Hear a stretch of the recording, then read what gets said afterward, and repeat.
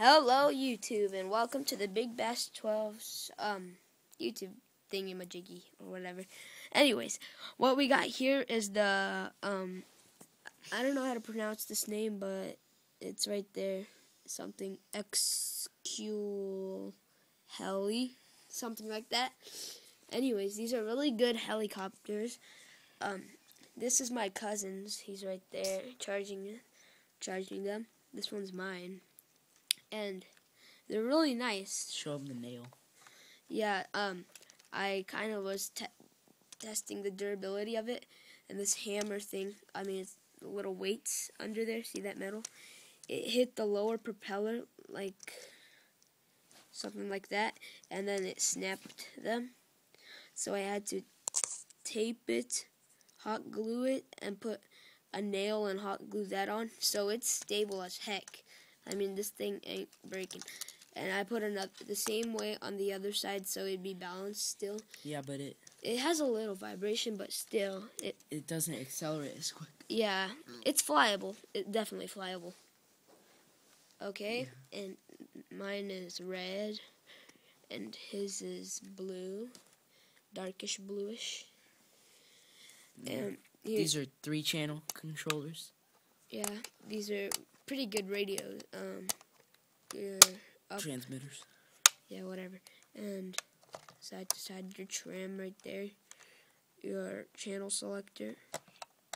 On the off. helicopters actually can be And- any channel you want. Yeah.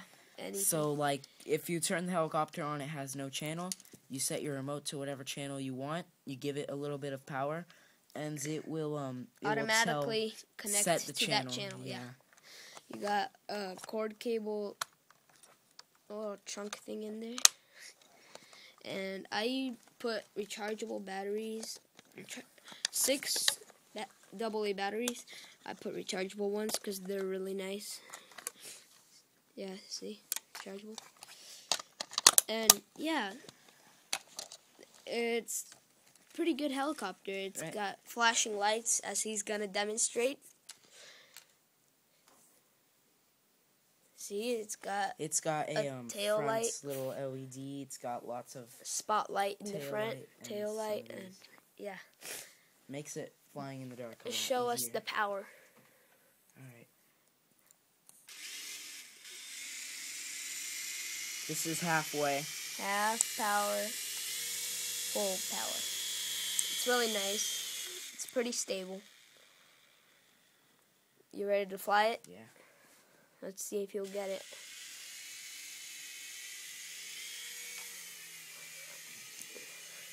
Let's get some close-up shots of this thing in action.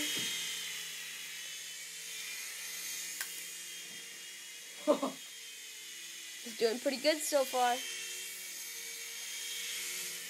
For his like um second time of flying this helicopter because he's been flying mine. All of them are a little different. Yeah, they all have their little own thing.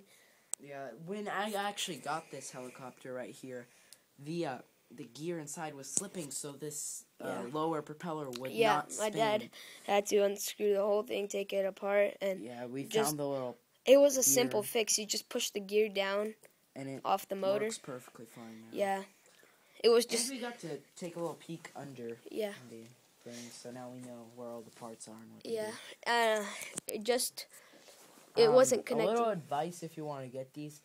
Um, if you ever are thinking about tightening these little bolts that are holding the propeller, it might change the flight pattern and everything.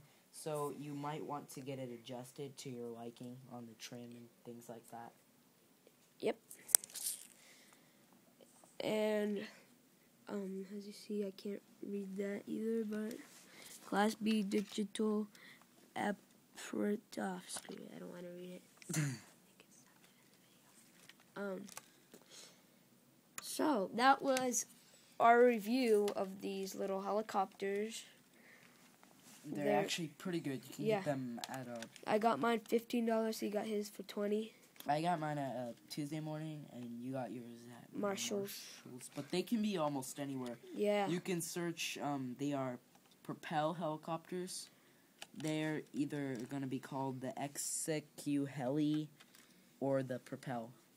helicopters. So, Yep, that's our review for today. Thanks for watching this video and we'll post some more stunts and stuff. later. yeah, um, comment and rate. Tell me what you think about this and have a nice day. Bye.